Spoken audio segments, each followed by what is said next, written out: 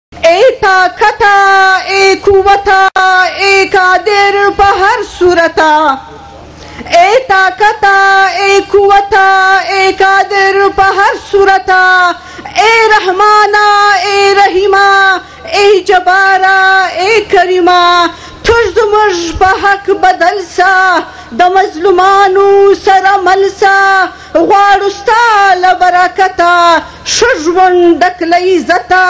د سینکانګه تر بولانه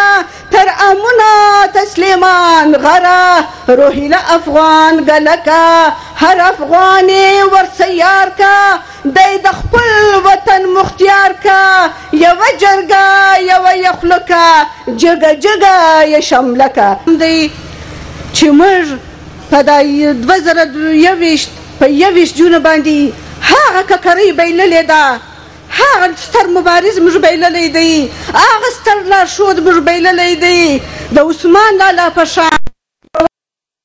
یو پیاوړی او ننګیالی کس موږ بایللی دی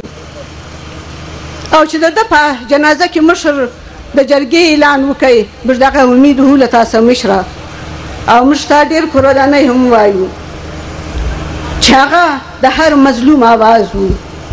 هغه د پښتانه قام که د بلوچ قام که د سندی قام د ټول ولس د لر او بر افغان اواز وو موږ هغه ککرۍ موږ نسو هیرولی موږ عارف خان وزیر موږ نسو هیرولی موږ ارمان لونی موږ نسو هیرولی خلک خو دا وایی چې پښتنی میرمنی پتمنی دی عزت منی دی غیرت منی دی او صبر ناکی دی هو پتمنی یو غیرت منی یو عزت منی یو خو د صبر توری تا بده د موږ سره لیری کړ، تا بده موږ به مزاحمت کوو، راوځو به او له تاسو به اوږه په اوږه درېږو. تا بده موږ صبر نه شو کولی،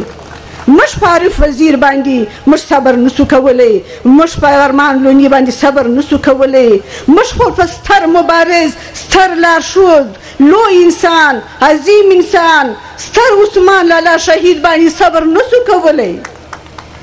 نور به هر څه وکړو لیکن په دا کیسو باندې موږ صبر نسو کولی موږ سره به ده دغه ککرۍ چې دلته موږ ته ناستې دي دغه موږ نسو بایللی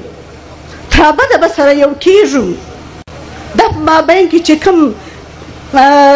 دا خبرې په مابین کې دا پلانې دي دا پلانې یا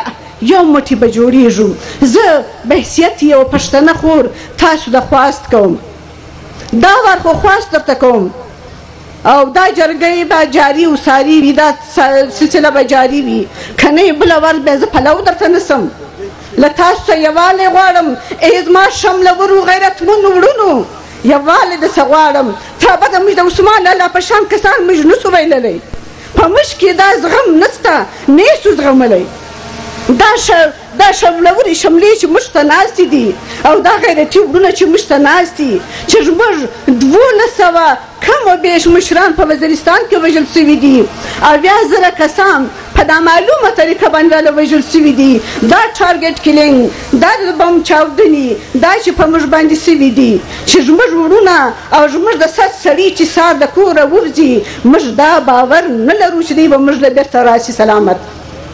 او که یوه د دماکې ږغ موږ واورېدی بش پنځوس کسان د ټلیفون کوو چې پلانه ته په خیر یې بس ترابده به له دغه جرګو له لارې به موږ خپل ستونزې او خپل مسلې بهر حل کوو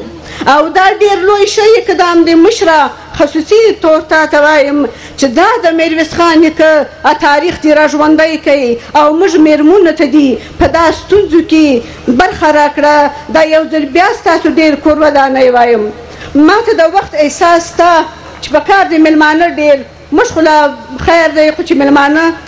ګای وکی زما یو تجویز دی لکه څنګه چی د نړی نور قامونه او ملتونه خپل قامی ایجنډه لری په کار دی چی دا جرګی قامی ایجنډه ولری.